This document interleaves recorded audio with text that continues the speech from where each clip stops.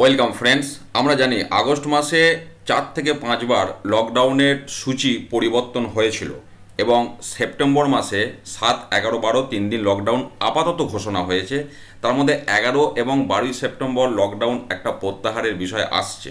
August মাসে কি কারণে লকডাউনের সূচি পরিবর্তন হয়েছিল বা সেপ্টেম্বরে কি কারণে প্রত্যাহারের একটা সম্ভাবনা উঠে আসছে, এটা নিয়ে আমরা শেষে ডিসকাস করব। একটু আমরা খবরটা তার আগে ছোট করে দেখে নিই।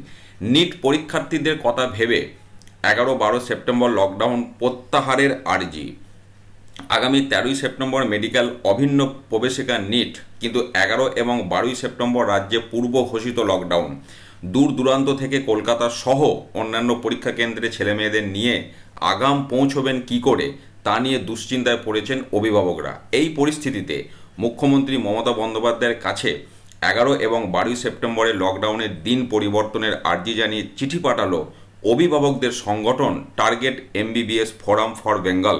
সংগঠনের তরফে বলেন, মুখ্যমন্ত্রীর কাছে আমাদের অনুরোধ, এগারো এবং বারোই সেপ্টেম্বরের লকডাউনের দিন পরিবর্তন করা হোক।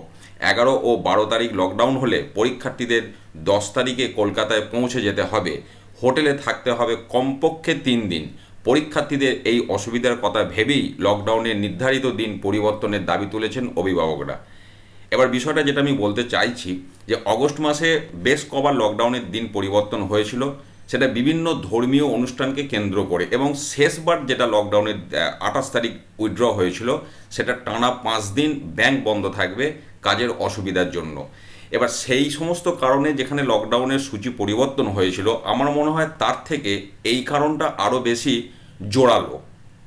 কারণ যে কথাটা এখানে বলা হচ্ছে অত্যন্ত সত্য বলে বা বাস্তব, যেটা হোটেলে রবিবার দিন পরীক্ষা, শনিবার দিন তারা এলে কাজটা মিটে যায়, যারা দূর থেকে আসবে। সেক্ষেত্রে এগারো বারো লকডাউন যদি থাকে তাদেরকে দশ তারিখে চলে আসতে হবে, তিন দিন তাদেরকে হোটেলে থাকতে হবে, হোটেলে খরচা বহন করতে হবে। এই জায়গাটা আমার মনে হয় অবশ্যই মানবিক হওয়া দরকার বা ভাবা দরকার এবং আমার যেটুকু ধারণা অবশ্যই আমাদের রাজ্য সরকার এই বিষয়টা অত্যন্ত সমবেদনার সঙ্গে বিবেচনা করবেন এবং এগারো বারো দুদিন লকডাউন প্রত্যাহার না হলেও অন্তত একদিন বারো তারিখটা হয়তো প্রত্যাহার হলেও হতে পারে বা দুদিনই প্রত্যাহার হয়ে এর বদলে অন্য দিন আসতে পারে। অন্তত এটা যথেষ্ট কারণ একটা রয়েছে লকডাউনের সূচি পরিবর্তন করার জন্য। অবশ্যই আপনারা আপনাদের সুচিন্তিত মতামত দেবেন। আমি আমার বক্তব্য রাখলাম। ভালো থাকুন, সুস্থ থাকুন। ধন্যবাদ।